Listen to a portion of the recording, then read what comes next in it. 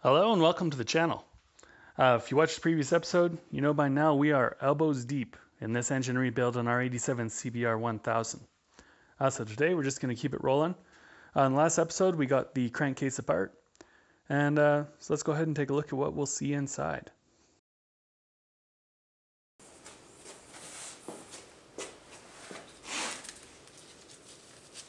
So here we have the oil chain. Here's the cam chain, the timing chain. Here's the alternator chain. Here's the alternator chain tensioner, which is a little spring arrangement.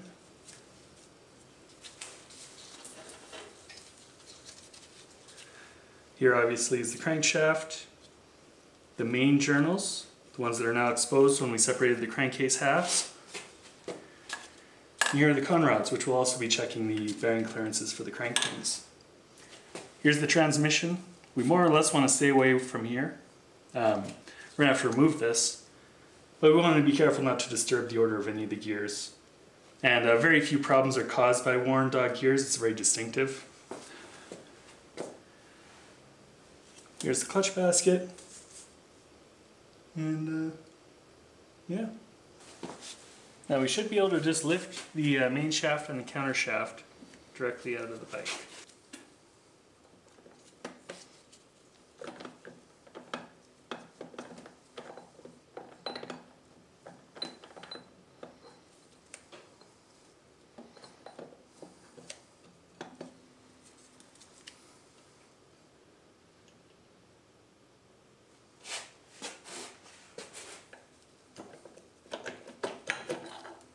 There we go. Now these will fall apart. If I was to, you know, let these gears fall off the end, uh, probably have a bit of a mess putting it together. It's not impossible, each of these gears is distinctive, and using an exploded diagram, they're not too tricky to put back together if they do come apart. But uh, I'm just going to save myself the trouble and try and keep this together. Now we can measure the conrod side clearance. Uh, let's locate an appropriately sized shim. Uh, in this case, service limit is um, one hundredth of an inch. Closest one I have is eight thousandths of an inch. And uh, just kind of try and jam it in the side here. And you'll notice these things will have a little bit of play. That's normal. Um, so try and kind of hold it to one side while jamming the shim in.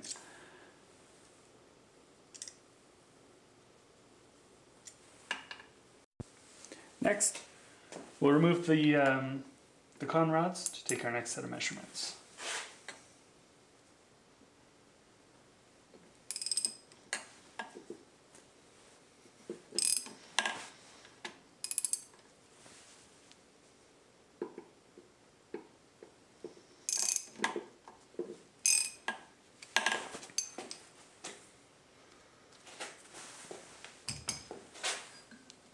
Now these should be matched um, to their original position, so try not to mix these up.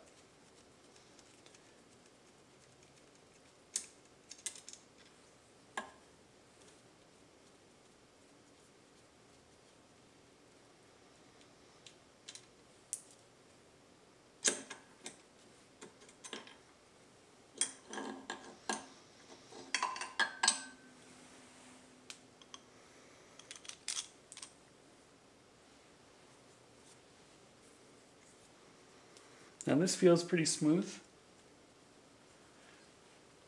The uh, crank bearing surface doesn't have any deep gouges in it.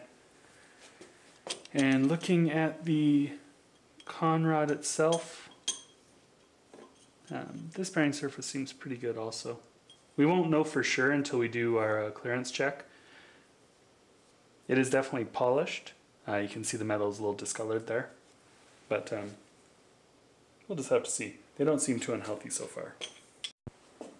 Now the first measurement we need to take is the uh, small end.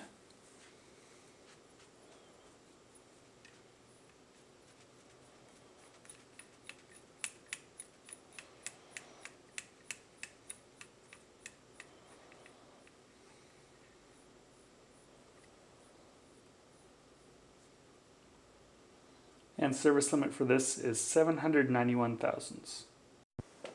Now we can measure our oil clearance. Um, so wipe any excess oil off of the surface here.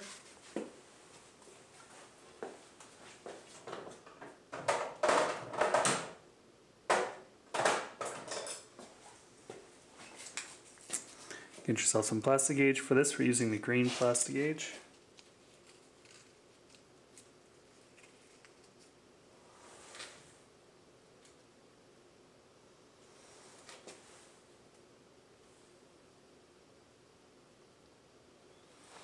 Lay it over top. Make sure it's not laying over any of the uh, oil holes.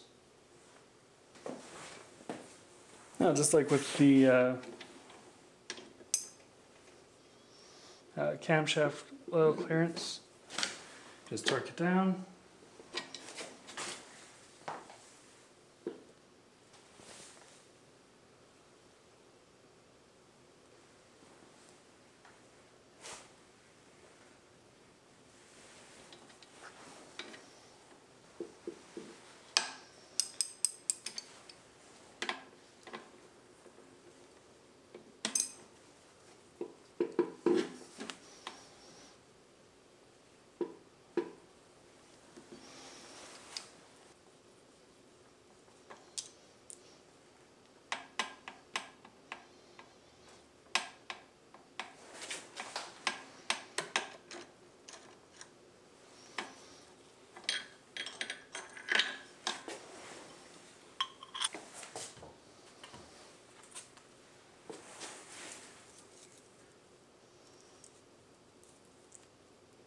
And this clearance is just fine. Uh, it reads about um, 15 thousandths of an inch. And service limit is, um, sorry, 15 ten thousandths of an inch. And service limit is 3 thousandths of an inch. So this one's just fine.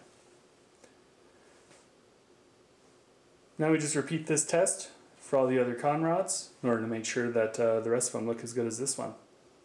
Next, we need to remove the oil pass pipe. Well, oil passageway pipe, I guess. Um, and this is actually an interesting time. If you're ever really sure, if you ever really want to be sure whether or not someone's taking your engine apart, um, check out these little tabs here. They have a coating, not sure if it's very visible on the camera. Uh, they're painted along with the rest of this part. In order to get this part off, you need to bend those back. So if this part has been removed from this bike before, this paint's going to be uh, a little chipped or uh, scuffed up from whatever tool the guy used to remove that. Uh, so interestingly enough, it looks like these are original. At least uh, they haven't been removed before. All the paint's intact, uh, except for this tab, which I just removed just now. And for this, I'll just use a screwdriver and uh, a small hammer. It's kind of a light touch. Don't want to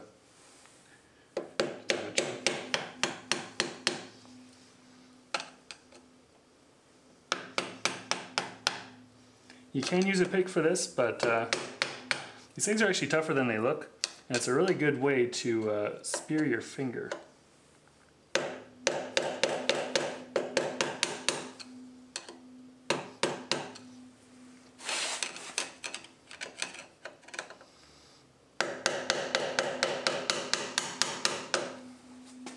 We don't need much access, just enough to get a socket in there.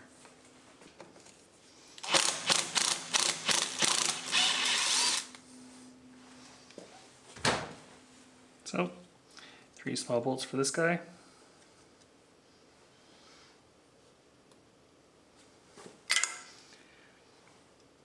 And you want to make sure to uh, check these passageways. Just make sure there's no uh, gunk or anything else in there.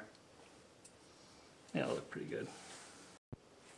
Next, we'll remove the three bolts for the alternator chain tensioner. Now this one I'm actually kind of curious to see. Um, these bikes, if you're not familiar, they tend to have a you know, basically everyone on the forum is always talking about the rattle. And, um, you know, there's no real consensus on what causes the rattle. A lot of people assume it's the cam chain tensioner, which is, you know, possibly a good assumption in a lot of cases. And so they'll modify the cam chain tensioner, they'll replace it, the part's been superseded. And, um, but the rattle will come back and they won't, you know, won't really be sure what it is. Um, other people have speculated it might be the oil chain um, this one's not held in with a tensioner. And it's a weak chain. So I would think if that thing were out of alignment that it would fail pretty quickly. Um, this one here, however, is a big beefy chain. And uh, it does have a tensioner, which in my mind is always a, a possible mode of failure here. Um, so once we get this part off, we're going to check the slide and uh, um, take a look at the component. It seems like it's holding pretty good tension on this chain right now though, just from, from what little I can access. I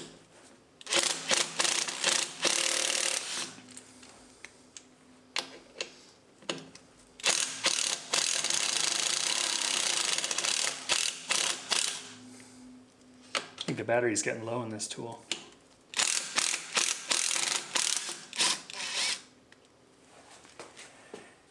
Advertised for 100 pound feet of torque, that little drill is. Tend to doubt that.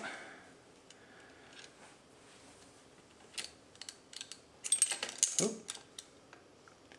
Yeah, she springs apart on us. Know, this looks like a little watch spring. I'm gonna have to figure this thing out. I'm gonna do that off camera.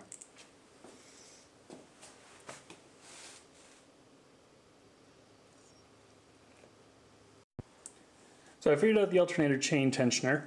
Um, turns out there's a little tiny hole right here. And if you plug that hole, it won't let the uh, mechanism come apart. Now if the mechanism does come apart, no big deal. Just make sure that um, this little spring is in its pocket and that this flat tab is resting on top of it. And you can push this flat tab to allow you to ratchet it in. See? So, again, I'm just got a small piece of uh, welding wire here. Poke that in.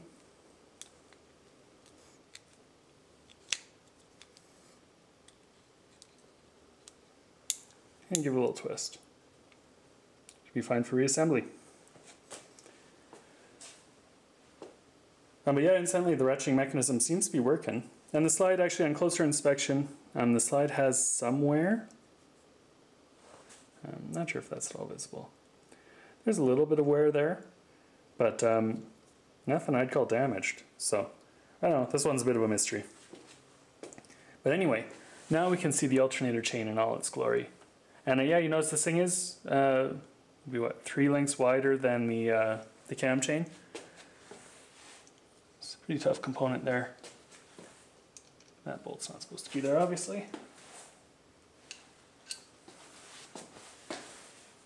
So uh, before we can remove the crankshaft, um, we will need to remove the alternator shaft. Now to remove the alternator, um, we remove the three base bolts, and I think this will be enough for us to get it out. I don't think we need to actually remove the top cover of it.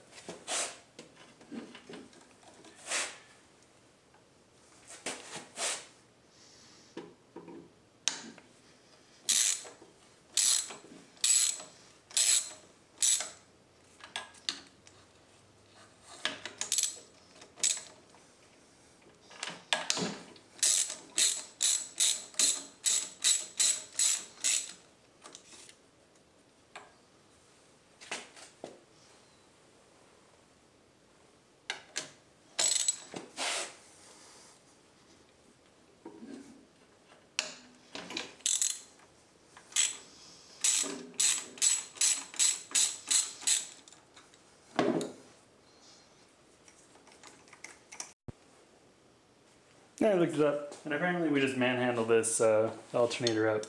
We're to start with our clip tool here.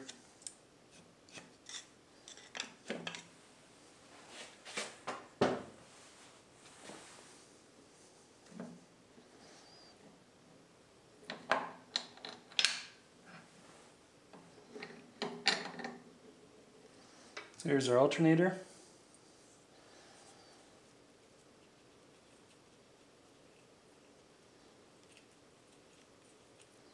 Bearing spins freely. And, uh, yeah, from a quick visual inspection, it looks to be in pretty good shape. I don't think there's too much we can do to inspect that thing besides take it apart.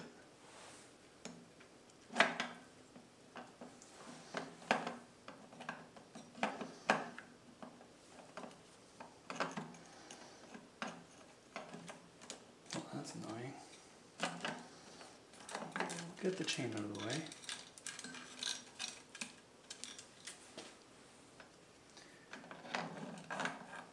We can remove this piece.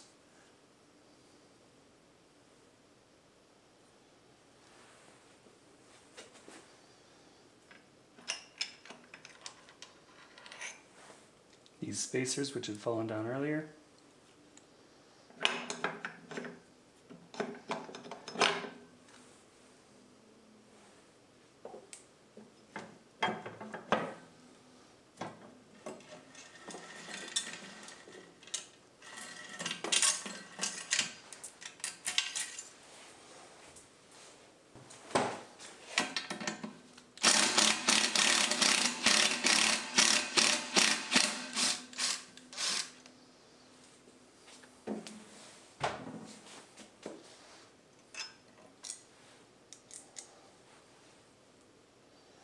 So this slide, well that's some assembly lube from what we were doing above.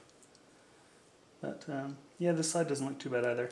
A little bit of wear, but uh, nothing too crazy.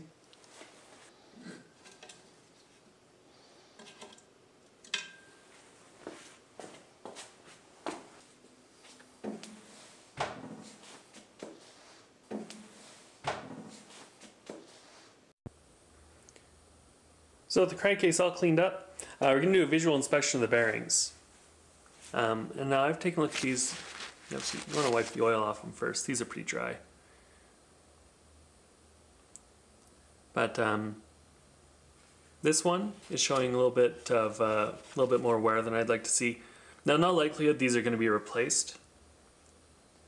But um, you see again, there's kind of a, a polished section which would be uh, kind of normal wear nothing catastrophic, but um, these prices, these tool or these um, these parts aren't too expensive, so we'll probably end up just replacing them. And this one's probably the most worn.